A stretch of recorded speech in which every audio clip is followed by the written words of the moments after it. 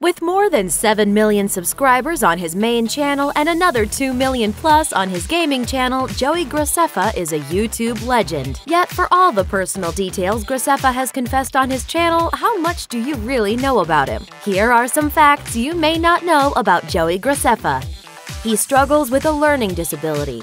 Back when he first began in his YouTube channel in 2011, Graceffa asserted that lead poisoning as a child led to a learning disability, which required him to take special education classes until he was a sophomore in high school. So for those of you who don't know what lead paint can do to someone, or especially like for a child, it can really affect like the brain and your learning ability. It may sound unlikely, but according to the CDC, lead poisoning can in fact lead to learning disabilities, behavioral problems, and sometimes even death. It's hard to prove, but Graceffa might be right about the cause of his learning disability. And that's not the only tough truth Graceffa hasn't been afraid to address.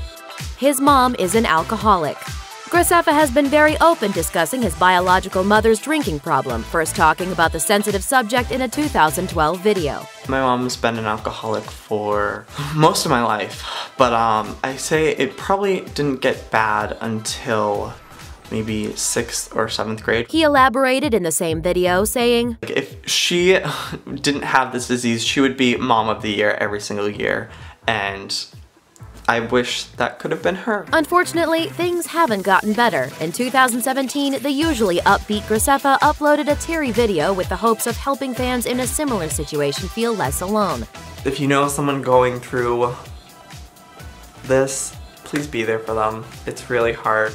The Amazing Race Graceffa's popularity received a jolt in February 2013 when he and his best friend and fellow YouTuber Meghan Camarena appeared on season 22 of the CBS reality show The Amazing Race. After struggling throughout the entire season, the duo was eliminated in fifth place out of 11 teams. Despite being eliminated in the middle of the pack, Joey and Meghan returned to CBS two seasons later in The Amazing Race All-Stars. This time around, the pair fared even worse, finishing in ninth place after they forgot to tell their cab driver to wait for them.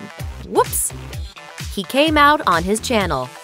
While many of his early videos mentioned being bullied in school and feeling like an outcast, it wasn't until a May 2015 video that Graceffa formally came out to his fans. The announcement came only two days after he released the video for his song Don't Wait, which ends with Graceffa kissing another man. Judging by the comments on both videos, his fans were not particularly shocked by the revelation. Nonetheless, the coming out videos have freed Graceffa up to post more personal stories about his life and relationships. A couple weeks after releasing the videos, Graceffa uploaded a Q&A where he answers the fan-submitted question, what was it like coming out of the closet? It took a while for me to accept that about myself before I was able to talk about it to someone else. Like I had to feel comfortable a lot at first. Um, and that definitely took a long time. Millionaire it's difficult to get credible numbers on a celebrity's net worth, but in 2015, Variety estimated his annual ad earnings at $365,000 per year, and several sites estimate Graceffa's net worth at around $7 million. And it's not just from YouTube and TV appearances. He's also a New York Times best-selling author, thanks to his 2015 memoir, In Real Life, My Journey to a Pixelated World. And his newest book, a young adult novel called Children of Eden, has already picked up a serious fan following. He's in love.